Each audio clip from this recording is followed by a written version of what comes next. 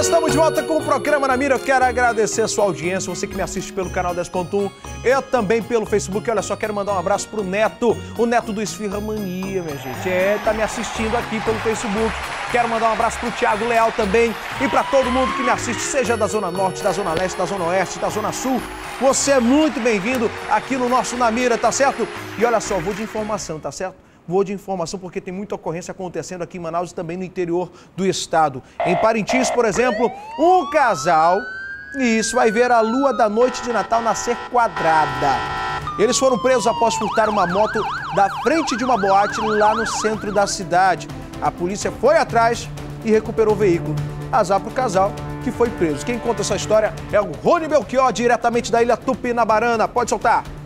Ok, Luiz, bom dia, bom dia a você, bom dia a todos que acompanham o programa na mira desta terça-feira, véspera de Natal. Olha, uh, Luiz, seguinte, aqui em Parintins, um casal, um casal vai passar o Natal, né, na cadeia. Pois é. Esse casal é o seguinte, eu estou falando do Adelson Pérez Fernandes Neto, de 22 anos, e também da Daina Souza Marinho, de 24 anos. Olha o que eles fizeram no, no final de semana. Eles saíram né, para dar uma volta na cidade, muita gente, muita movimentação. Eles pararam em frente a uma, uma boate no centro da cidade, tá? na rua Paz de Andrade, no centro da cidade aqui de Parintins. E lá ficaram observando as motos estacionadas em frente à boate e levaram uma. Isso, eles furtaram uma moto de lá. A dona, claro, né, chegou, não viu mais a moto, acionou a polícia e praticamente o domingo da dona da moto foi assim realmente um domingo para lá, é, é, muito para baixo. Né? Resultado, na, na manhã de segunda-feira, de, desta segunda-feira, a polícia conseguiu chegar até o veículo roubado. Está, é, estava numa residência na, do casal na rua 13 de maio, a rua 5, no bairro Paulo Correia, zona sul aqui da cidade de Parintins, tá? Ah, imediatamente a polícia verificou chassi, numeração, placa, tudo do mesmo jeito.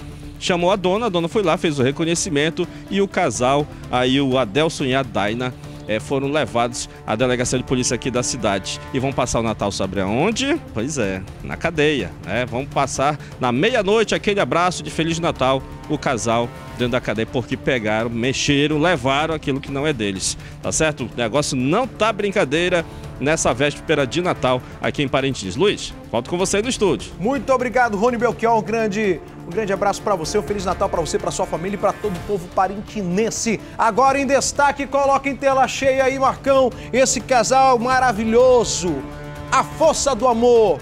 A força do amor resistiu, resistiu à prisão, resistiu ao roubo e o amor prevalece até mesmo dentro da cadeia.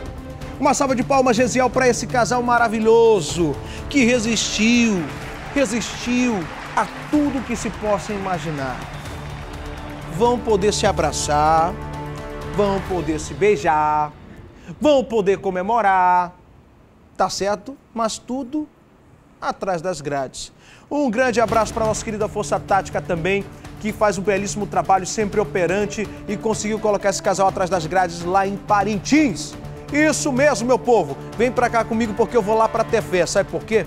Lá em Tefé, a Polícia Militar realizou uma revista na unidade prisional e encontrou vários objetos. Isso mesmo. Quem conta a história é o Marcelo Macedo na tela do Namira.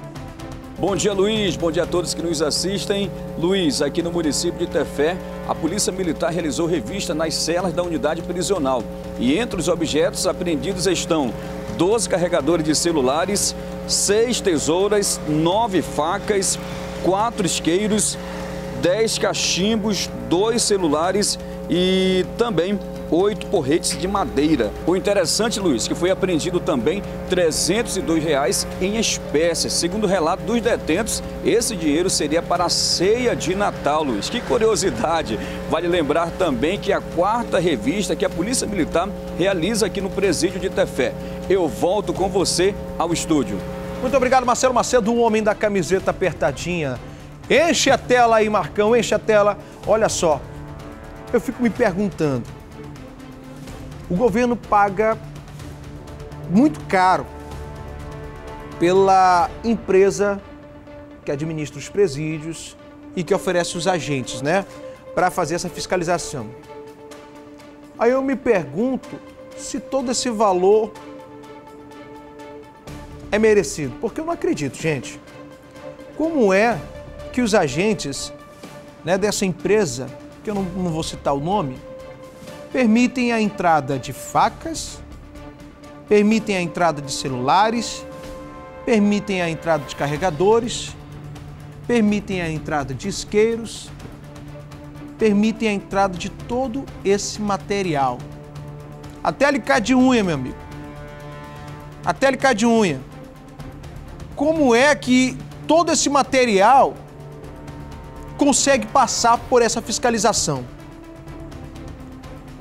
Porque, pelo que eu entendo, se eu sou pago para fiscalizar a entrada de material que não é permitido no presídio, eu faço a revista e se eu encontro esse material, retiro dali e o preso ainda é advertido. Mas aqui no Amazonas a gente cansa de encontrar em presídios do interior do estado todo esse tipo de mercadoria. Tá certo. Fica aí a pergunta, né? Agora vem para cá comigo. Ontem foi, ontem foi realizado em Manacapuru a última transferência de presos em 2019.